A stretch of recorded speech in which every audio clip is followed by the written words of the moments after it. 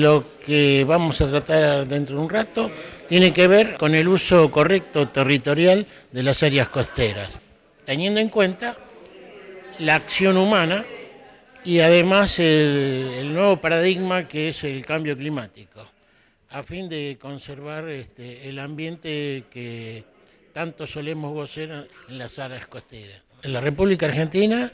y en la provincia de Buenos Aires y en especial el municipio de la costa. El recurso económico de la zona es el turismo. Si no se mantiene correctamente el área costera, se pierde el turismo y aumenta la pobreza. Así que un actuar inteligente es mantener las condiciones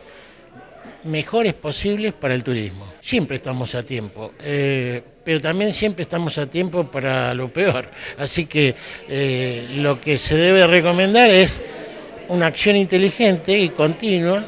para mantener las condiciones esas del turismo. Sí, el turismo en esta zona y otras zonas costeras, ¿de qué, de qué es lo que lo sostiene? El agua y la playa si hacemos lo conducente o no hacemos para mantener esa relación eh, positiva entre lo que es lo que llama la playa, ese ir y venir de las olas, bueno, perdemos el turismo. Y si perdemos el turismo, los municipios se empobrecen. La charla de hoy tiene que ver con eh, los recursos del mar argentino vistos desde un enfoque ecosistémico. Es decir, tener en cuenta que el mar argentino tiene sus recursos como todos los océanos limitados y hay que eh, tener en cuenta que la explotación del sistema pesquero tiene que ser visto desde un enfoque ecosistémico, protegiendo los recursos naturales y respetando las normativas que este, se aplican, que, están, este, digamos, de alguna manera eh, destinadas a proteger eh, el recurso eh, y las, este, la pesca en general. Sobre todo las malas prácticas pesqueras que tienen que ver con no respetar las zonas de veda, de no respetar las épocas, y de no respetar las, las, metodologías que se utilizan para la pesca y que se transformen en, metodologías de pescas destructivas. Y vine a dar la charla eh, apuntando justamente a cómo todas estas cosas que se hablan esporádicamente en algunas reuniones o cuando los proyectos hacen este, actividades de divulgación, tienen que ser eh, incorporadas a la currícula de los colegios, a la currícula de las materias, por ejemplo, yo trabajo en escuela secundaria,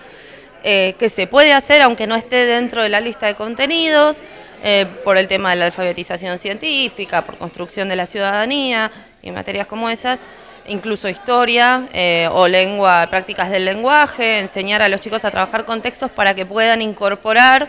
el contenido científico y poder este, tomar mejores decisiones, porque al final lo que siempre termina pasando es que la población desconoce los problemas ambientales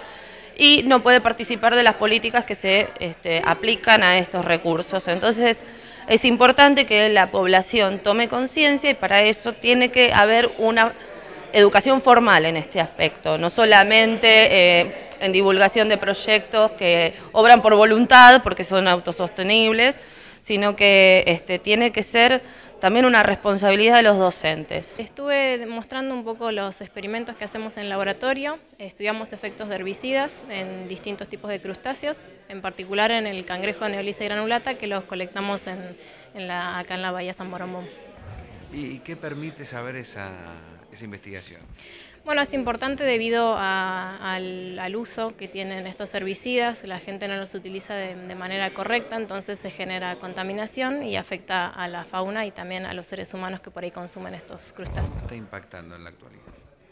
Y en la actualidad eh, lo que vemos son efectos también eh, por ahí en, el agua, en la gente que consume el agua que es considerada potable, se ven efectos en, por ejemplo, mujeres embarazadas donde se observa que el feto tiene un, desarrollo que no, es normal y a su vez también afecta el sistema reproductor de, los humanos y está también asociado a contraer cáncer, como por ejemplo cáncer de mama y, de,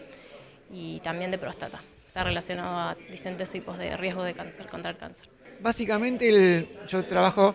en cómo el turismo de sol y playa impacta sobre los recursos naturales, cómo cambia la dinámica de la playa, qué problemas genera